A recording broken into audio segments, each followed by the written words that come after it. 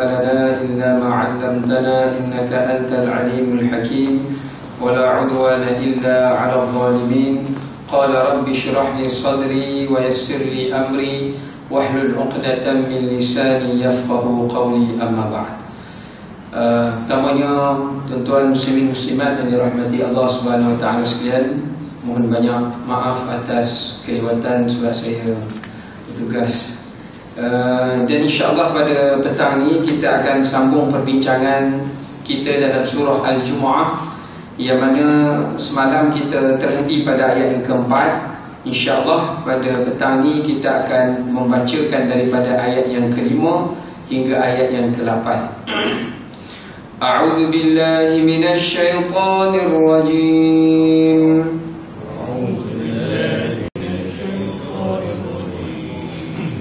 بسم الله الرحمن الرحيم.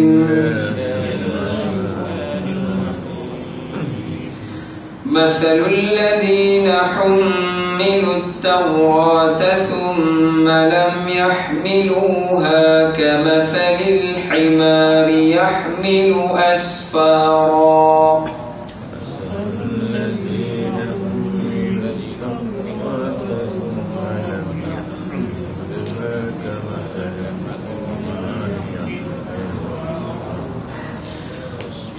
بئس مثل القوم الذين كذبوا بآيات الله.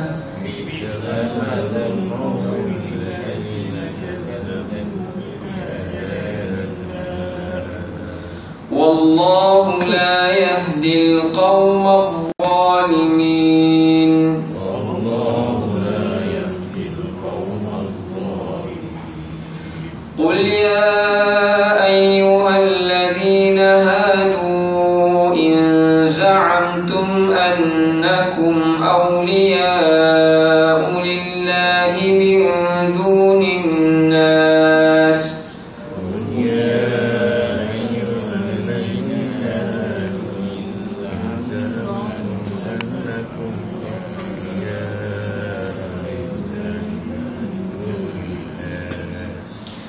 فتمنوا الموت إن كنتم صادقين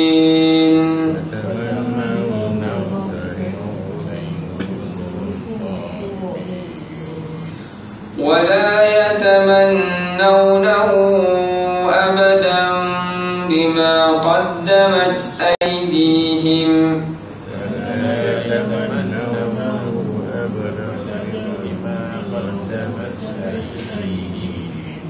والله عليم بالظالمين.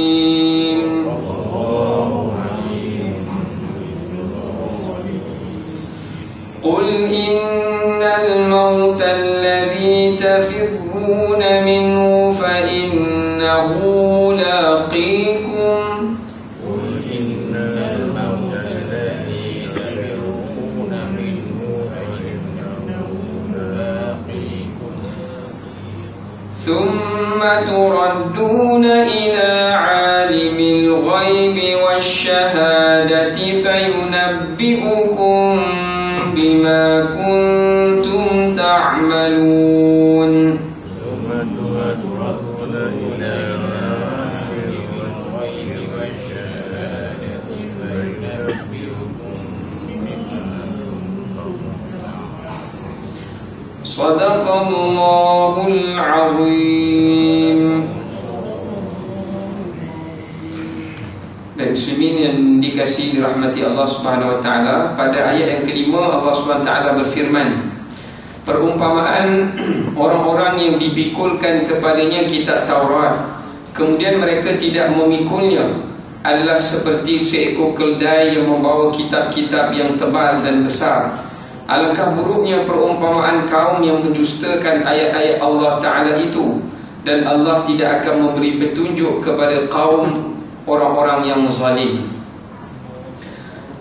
Dalam ayat ini Allah Subhanahu Wa Ta'ala membawa kepada kita satu gambaran perumpamaan dan juga cerita celaan terhadap golongan ahli kitab yakni khususnya pada sebab turun ayat ini kepada orang-orang Yahudi.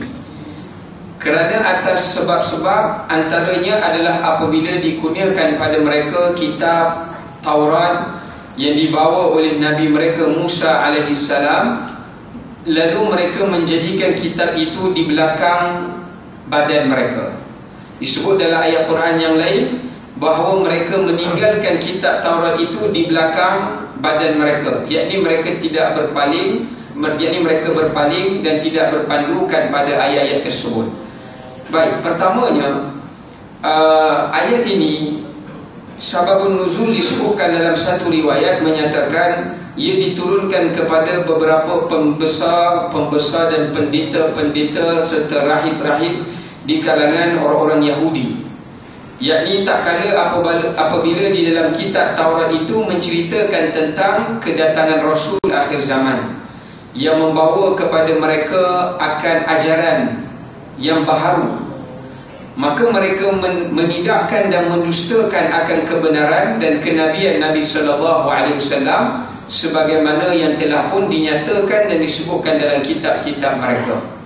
Bahkan Allah juga mengumpamakan mereka ini seperti keldai. Sebab kitab-kitab yang telah mengandungi hukum hakam yang terdapat dalam kitab Taurat itu mereka tidaklah membacanya dan tidak mengamalkannya. Bahkan mereka pula telah menukarkan ayat-ayat yang ada dalam kitab Taurat itu kepada ayat-ayat yang mengikut kepada kemahuan daripada nafsu mereka sendiri. Baik, sebab itu kita lihat ada beberapa ibrah dan pengajaran daripada ayat yang kelima. Yang pertama, ayat ini kata Syekh Abu Bakar Al-Jazairi adalah ayat yang memberikan ancaman kepada golongan-golongan ilmuwan tetapi mereka ini tidak beramal di atas ilmu itu.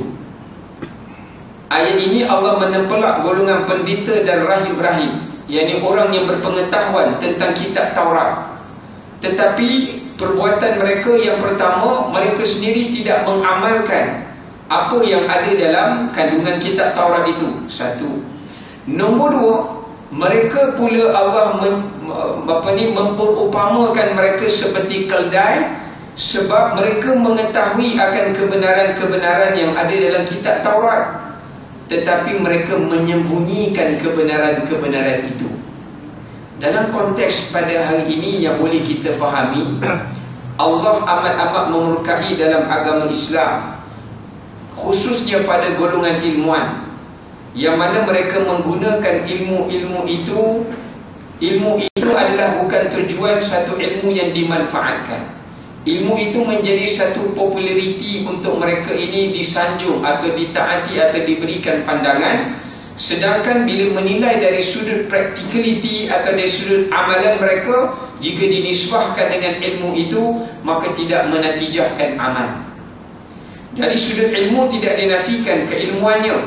Tapi dari sudut amalinya Maka tidak nampak mereka ini dalam kelompok orang-orang yang berilmu. Ini bahaya. Sehingga kan pendeta-pendeta Yahudi ni tuan-tuan Kalau tuan-tuan dia kalau kita baca satu ayat Quran Kita kena tafsirkan dengan ayat Quran atau hadis Nabi. Dalam satu ayat Quran yang lain Allah sebut dalam surah Ma'idah Lu'inal ladhina kafaru Min bani Israel ala lisani Dawud wa Isa bin Maryam Dhalika bima asaw wa kanu ya'tadun kanu la yatanahawna an munkarin fa'alu labisa ma kanu yaf'alun dilaknatnya keturunan Bani Israel daripada kalangan pendeta dan ilmuan-ilmuan mereka. Pada lisan Nabi Daud pada lisan Nabi Isa ibn Maryam. Sebab apa? mereka ini golongan yang berpengetahuan. Dan apabila mereka melihat sebahagian daripada kelompok golongan kaum-kaum mereka yang membuat perkara-perkara kefasadan Lalu mereka itu mendiamkan diri mereka daripada menyatakan yang hak Mereka menyembunyikan Mereka menyembunyikan kebenaran yang ada dalam kitab Taurat tu. Mereka tak cerita pada golongan. Golongan ni tak tahu tuan-tuan. Tapi mereka mendiamkan diri dan mereka tak cerita. Kemudian yang kedua Mereka juga menyuruh kepada perkara yang ma'ruf. Tetapi mereka juga masih duduk dalam kelompok golongan yang tidak menginginkan kepada perkara yang ma'ruf itu tadi. Sebab itu Allah Taala kata kanu la yatanahawna am munkarin fa'alu. Mereka ini tidak mencegah kepada benda yang mungkar, sebaliknya mereka melakukan kemungkaran itu. Bagaimana mereka melakukan kemungkaran sedangkan mereka mengetahuinya? Sebab mereka duduk bersama dengan orang-orang yang melakukan kemungkaran tersebut. Berarti mereka menyembunyikan kebenaran yang ada di dalam dalam kitab Taurat. Sebab itu dalam Islam Nabi sebut dalam hadis barang siapa yang menyembunyikan satu ilmu maka pada hari akhirat uljima yaumal qiyamati bilijami minan nar. Allah taala akan uh, apa ni melipatkan dia di dalam api neraka yang mana lipatannya adalah sangat sangat berat. Berarti dalam Islam apa sahaja kebenaran yang terdapat di dalam Al-Quran keterangan di dalam Al-Hadis maka wajib kepada orang yang ada ilmu bukan semestinya ustaz atau golongan orang yang berilmu dia mesti menyampaikan kebenaran itu. Sebab ada dalam ayat yang lain Allah sebut innal ladina yaktumuna ma anzalna minal bayyinat min ba'di ma uh, bayyanahu lin-nasi fil kitab ulaika alladhina la'anahumullah wa yal'anuhumul la'inun.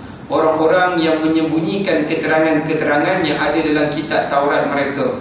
Termasuklah kalau ada keterangan yang disebut di dalam Al-Quran Dalam Al-Hadis Disebutkan dalam kitab fiqah Disebutkan dalam tafsir Disebutkan dalam kitab-kitab muktabar Kita tak menyatakan dan tidak menyampaikan kebenaran itu Allah sebut dalam ayat tersebut Mereka ini adalah golongan yang dilaknat oleh Allah Dan orang-orang yang telah tidak diceritakan di, di, di, Dikhabarkan kepada mereka kebenaran itu juga Akan melaknat mereka. Pada bila tuan-tuan?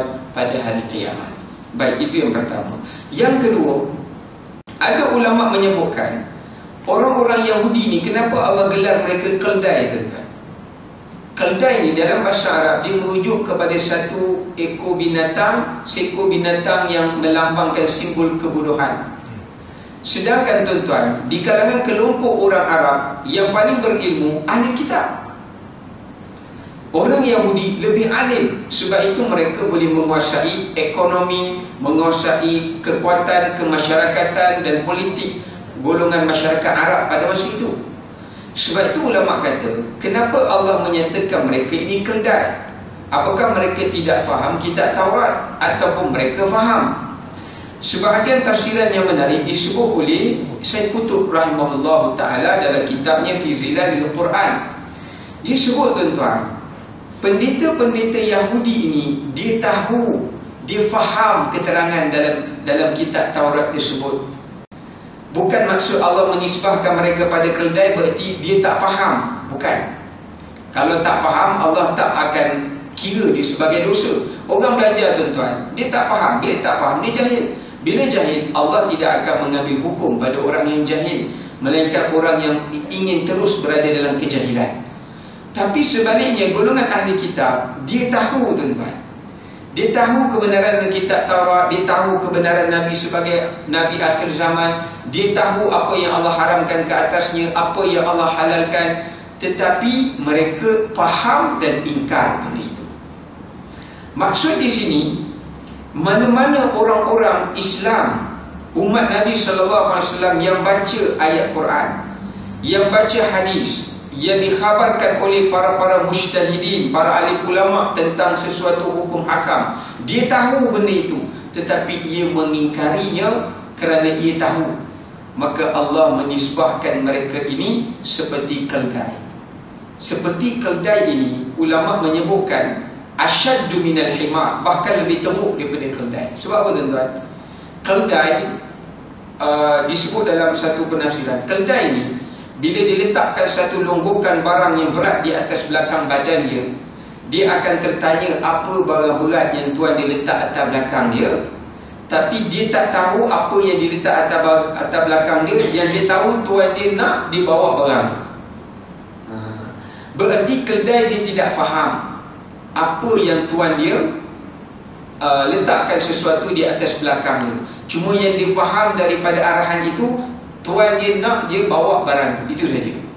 Sedangkan golongan ahli kitab, golongan Yahudi pendeta ini, mereka tahu apa yang Allah bebankan, taklifkan kepada mereka dalam kitab Taurat. Mereka tahu dan mereka faham. tetapi mereka buat-buat tak faham tuan. Ha itu kau bahasa gitu. Ya. Ada orang dia tahu hukum ni tapi dia buat-buat tak tahu. Ha dia juga itu menunjukkan bahawa dia mengingkari atas atas hukuman tersebut. Maka Allah menisbahkan kepada mereka ini seperti seperti keldai. Baik, kemudian yang ketiga, ibrahnya tuan-tuan. Ulama menyebutkan bahawa uh, di, di dalam tafsir Al-Qurtubi menyebutkan bahawa sebenarnya Al-Quran atau kitab kitab yang diberikan pada ahli kitab yakni Taurat dan Injil mereka menjadikan kitab wahyu ini sebagai kitab bacaan saja kitab bacaan dan bukan satu kitab yang diimplementkan diimplementasikan apa yang terdapat dalam kandungan kitab itu sebab itu kata uh, Imam Al-Baghawi dalam tafsir dia kata Bukanlah matlamat Allah menurunkan Quran Semata-mata untuk Quran ini Adalah untuk menjadi bahan bacaan Yang kita dapat ibadah hanya sekadar membacanya. Sebab apa tuan-tuan? Sebab Allah Ta'ala sebut dalam banyak ayat-ayat Quran yang lain Yang mentafsirkan masuk perkataan Iqra' pada ayat wahyu yang pertama Yang Allah turunkan kepada Nabi Sallallahu Alaihi Wasallam. Orang kita banyak salah faham Dia faham ikhra' maksudnya baca Baca tu maksudnya baca lah Dalam bahasa Arab tuan-tuan Ikhra' memberi maksud baca dan faham Yang ifham Faham.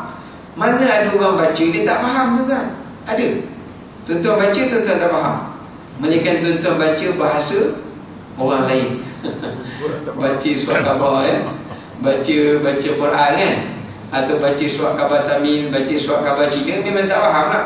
Tapi matlamat daripada perkataan baca itu adalah untuk memahaminya. Untuk memahaminya kerana matlamat daripada faham adalah untuk mengamalkannya. Sebab tu dalam banyak ayat Quran Allah sebut inna hadzal Quran yahdi lillati hiya aqwam. Sesungguhnya Quran yang kami turunkan ini menjadi petunjuk macam mana Quran nak jadi petunjuk kalau Quran tidak difahami? Bahkan dalam ayat Quran juga sebut fihi shifaa'un wa rahmatul lil mu'minin. Quran itu adalah penawar. Penawar bukan penawar sekadar sakit yang berada di zahir saja, tapi syifa memberi maksud penawar bagi hati. Mana mungkin hati ini boleh mendapat hidayah dan boleh mendapat petunjuk melainkan hati yang memahami Quran. Dan sebab tu Allah sebut wasyifaul lima fis sudur. Quran ini penawar pada apa yang ada dalam hati. Allah tak nisbahkan Quran semata-mata penawar pada pada anggota zahir, tapi masyarakat kita ambil Quran sebagai ruqyah untuk yang zahir. Itu tak salah tuan-tuan. Lebih penting daripada itu siapa yang diruqyahkan katakanlah dia sakit, dia diruqyahkan. Dia kena faham ayat yang diruqyahkan itu supaya dia juga beramal dengan uh, apa ni ayat tersebut dan memahami ayat tersebut. Ini kaedah yang disebutkan Islam. Bahkan banyak ada ayat Quran yang lain Allah Taala sebut afala yatadabbarunal Quran. Kenapa kamu tidak mentadabbur Quran? Mentadabbur ini kamu menghayati dan kamu mengkaji dan kamu mengeluarkan segala pengajaran-pengajaran dan kebaikan-kebaikan yang ada di dalam kitab Al-Quran tersebut. Bahkan tuan-tuan, zaman salafus salih terdahulu Uh, Sayyidina Umar Ibn Khattab radhiyallahu ta'ala dalam satu riwayat kata Sayyidina Umar dia nak khatam surah Baqarah tuan-tuan 9 tahun. Nak hafal khatam hafal surah Baqarah 9 tahun. Orang tanya kepada Sayyidina Umar kenapa lambat sangat? Apa kata Sayyidina Umar?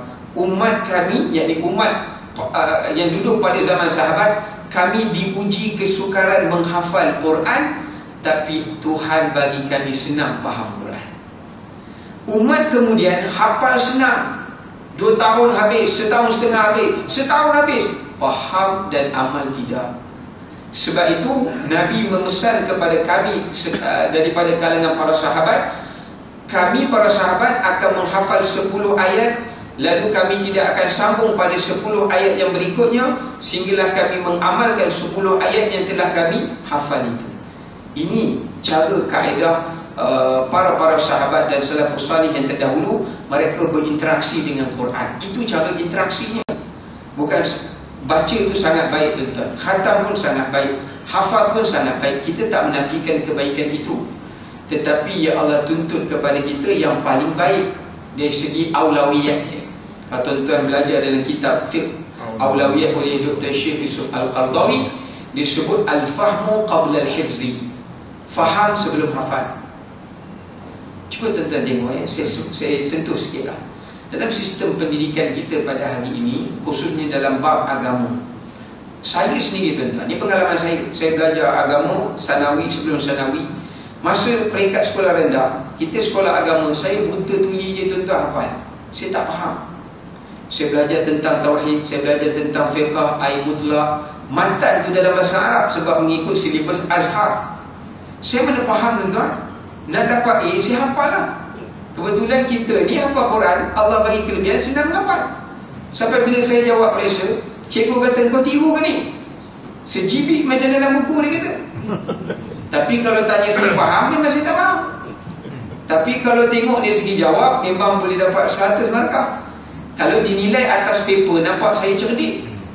Tapi kalau dinilai sudah kefahaman Saya tak cerdik lagi tu tak ha, Itu beza dia Jadi sebab tu Dr. Surah Khaldawi dia kata pada hari ini penekanan yang perlu diberikan kepada anak-anak di seluruh pendidikan dia bagi mereka faham itu lebih penting daripada menggunakan pendekatan semata-mata mereka hafal.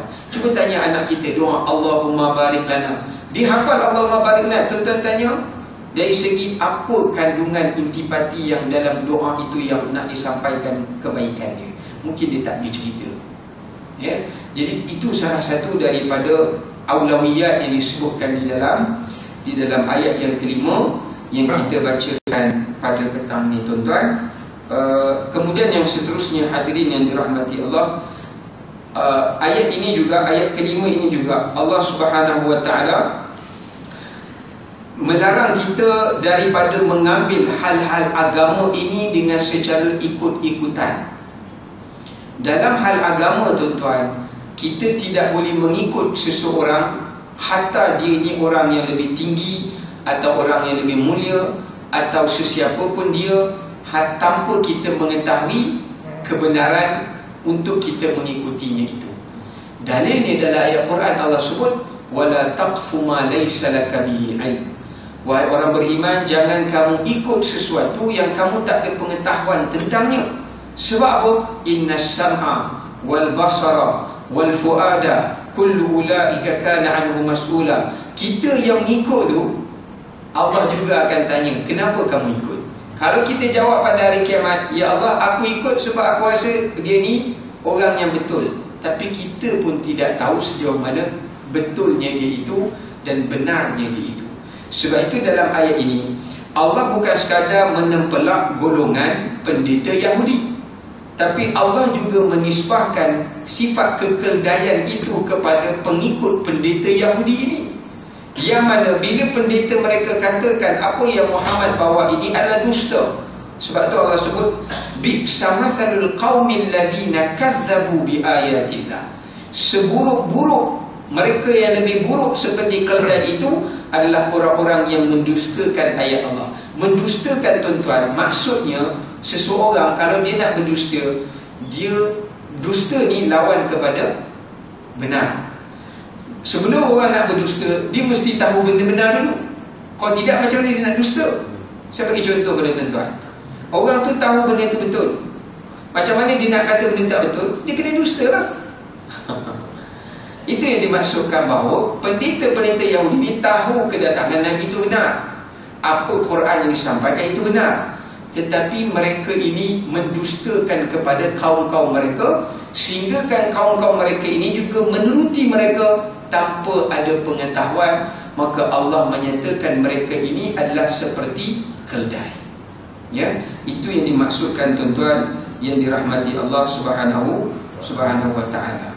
Baik kemudian seterusnya kita pergi kepada Allah menisbahkan pada akhir ayat ini wallahu la yahdil qaumadh zalimin dan Allah sama sekali tidak akan memberi hidayah kepada orang-orang yang berbuat zalim. Maksudnya orang yang berbuat zalim dalam konteks di sini adalah perbuatan mengingkari kepada ayat Allah setelah mana ia mengetahui itu adalah perbuatan zalim kepada hak Allah. Tuan-tuan, Allah beri kita Quran, Nabi terangkan kepada kita hadis. Quran dan hadis dan peraturan yang ada dalam Quran, keterangan yang ada dalam Quran dan hadis itu adalah hak Allah. Kita adalah makhluk Allah apabila mengingkari apa yang Allah nyatakan dalam dua sumber ini, kita telah menzalimi. Menzalimi siapa? Menzalimi hak Allah. Dan orang yang menzalimi hak Allah Hakikatnya dia menzalimi dirinya sendiri Sebab yang akan diazab adalah manusia Atas keingkarannya Sebab itu Allah Ta'ala menyebutkan Allah tidak akan bagi hidayah Kepada orang yang mendustakan Ayat-ayat Allah Subhanahu Ta'ala. Yang ini tertutup hidayah Allah Ke atas golongan-golongan ini. Baik Yang keenam. Allah sebut dengan mafumnya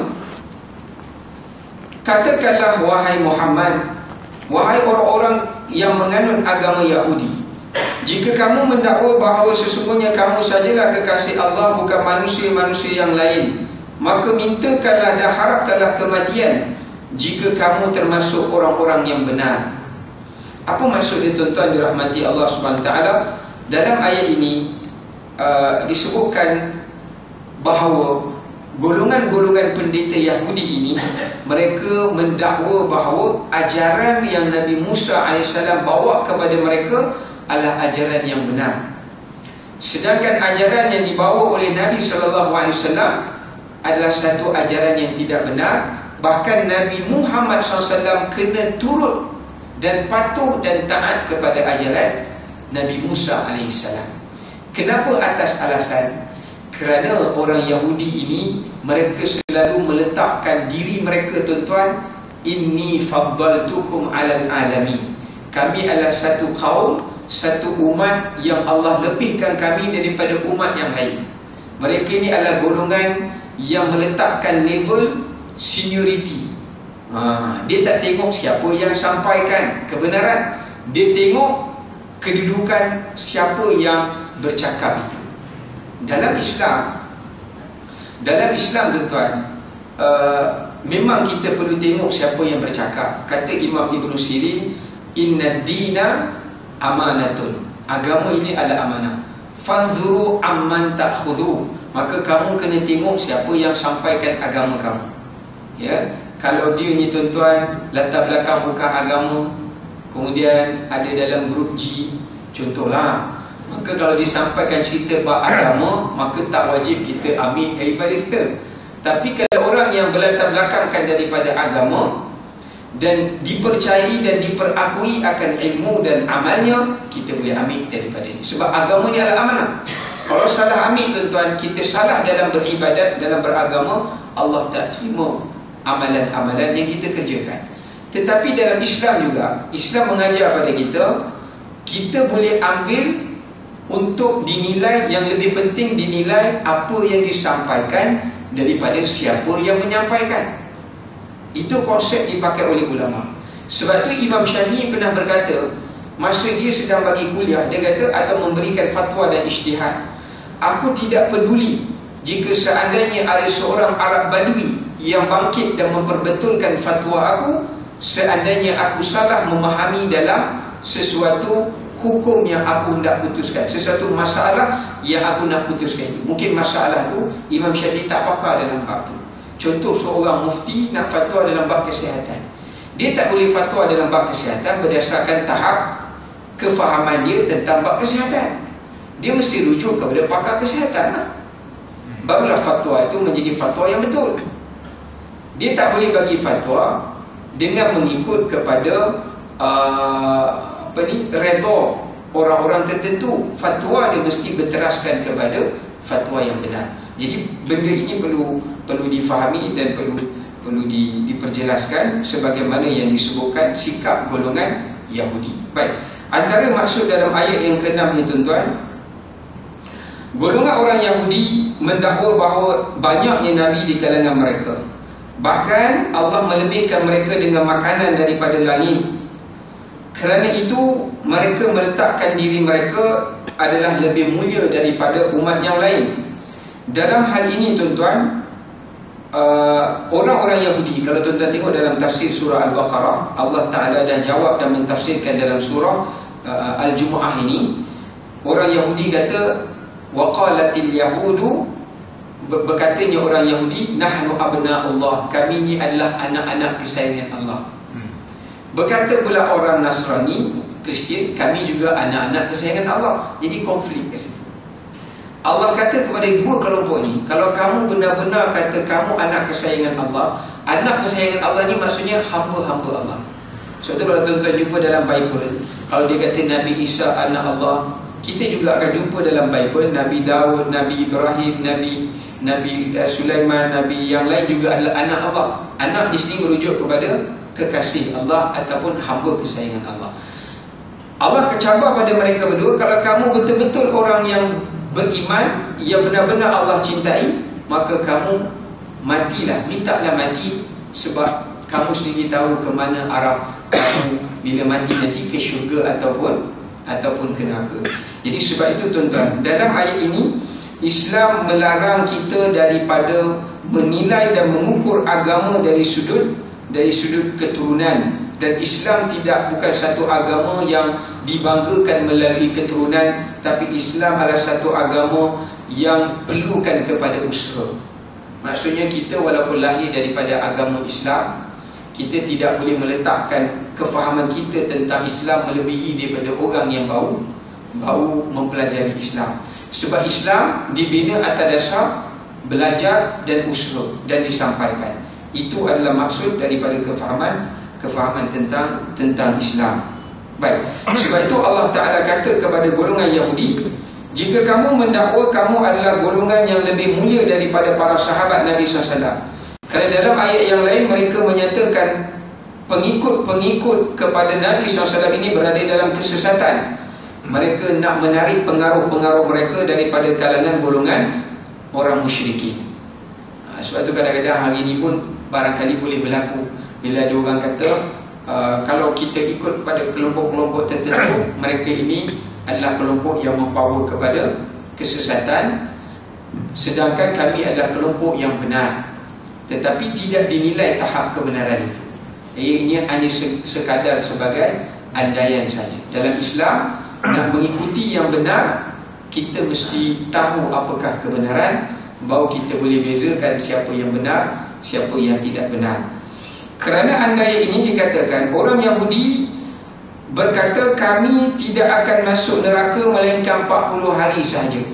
Kerana pada tempoh 40 hari itu mereka telah pun menyembah lembu yang dibuat oleh Samiri selepas daripada itu kami akan masuk syurga buat selama-lamanya. Adapun umat Muhammad SAW dia kata akan masuk neraka kerana kufur dan tidak mengimani atas ajaran mereka. Sebaliknya, mereka sebenarnya disebut dalam surah Al-Baqarah dalam ayat 94 hingga 96 mereka ini mengharap agar Allah Ta'ala panjangkan umur mereka lau yu'ammaru al-fasanah seribu tahun. Sebab mereka ini adalah kelompok yang paling takut untuk mati tuan-tuan. Sebenarnya kalau kita tengok Orang yang paling takut mati orang Yahudi. Itu tentera-tentera Israel. Kalau dia berhadapan dengan tentera Islam Rekod sejarahnya Mereka adalah kelompok tentera yang paling pengecut tuan-tuan. Kalau tuan-tuan tak cuy tanya sahabat-sahabat NGO Yang pernah terlibat dalam tragedi uh, Mavi Marmara Mereka yang jumpa dengan tentera Israel Yang tak ada senjata apa Tentera Israel yang pegang macam-macam alat ada sud kali peluru mereka tengok golongan yang yang memandang merenung mereka itu pun tidak dalam keadaan dalam keadaan cemas nak katakan mereka adalah golongan yang yang penakut kerana Allah campakkan rasa ketakutan itu ke dalam hati mereka sebab apa tuan-tuan mereka tahu jika mereka mati mereka itu berada di dalam neraka Allah dan mereka hanya mendakwa bahawa mereka sebaik-baik umat sedangkan mereka mengetahui bahawa mereka adalah umat yang dimurkai oleh oleh Allah Subhanahu wa taala. Okey baik. Kemudian Allah Taala menyebutkan pada ayat ini Allah kata jika kamu adalah orang yang benar dicintai oleh Allah fatamannawul maut in kuntum sadiqin maka kamu mintalah kepada Tuhanmu agar Tuhan mematikan kamu. Dalam satu hadis Nabi yang sempat saya lihat Nabi SAW bersabda Seandainya orang Yahudi Sahut cabaran ayat ini Dan mereka berdoa kepada Allah Agar matikan mereka Nescaya Allah akan matikan semua orang Yahudi. Jadi tak ada lagi orang Yahudi. Ha, Tapi sebab Allah cabar mereka sampai sekarang Mereka tak jawab cabaran ini. Mereka tak berani minta mati. Nabi kata kalau mereka minta mati Allah bagi semua Yahudi mati. Sebab mereka mendakwa mereka adalah Kekasih Allah Dan Allah nak mempercepatkan Di manakah tempat kembalinya Mereka itu di hari akhirat kelak. Baik Kemudian dalam ayat ketujuh Allah menyebutkan mereka tidak akan mengharapkan kematian itu buat selama-lamanya disebabkan kejahatan yang telah mereka perbuat dengan tangan mereka sendiri dan Allah Maha mengetahui akan orang-orang yang zalim. Lalu Allah Taala nampak tuan-tuan ayat ini Allah Taala mengejek orang Yahudi. Kalau tuan-tuan faham Allah kata Allah cabar orang Yahudi jika kamu orang yang benar kamu mintalah mati.